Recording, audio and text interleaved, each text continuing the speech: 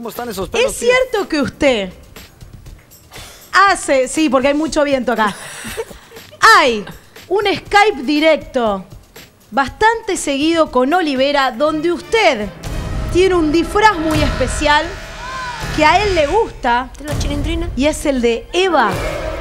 Claro. Eva. Claro, el de Eva. Eva Morales. Sí, sí, eh, bueno, sí. La de Masterchef.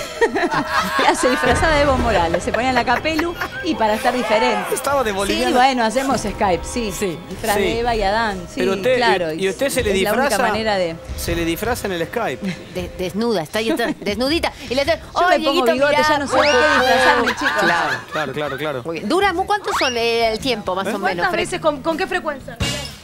No, porque son tres horas de diferencia. Yo cuando él me llama estoy eh, sonámbula como en el, como en el, eh, Claro. el móvil de ahora.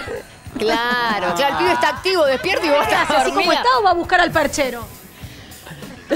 No, así como está. No, pero vos tenés tres horas Bueno, más. lo que pasa es que por ahí en casa son las dos. Claro. Claro, por eso yo ya estoy que yo me yo hago vida de jubilada tranquila, chicos. Claro, a ver, yo no salgo de noche, no, no voy a comer después porque claro, porque si no si como todos los días eh, me voy rodando de acá de Mar del Plata a México.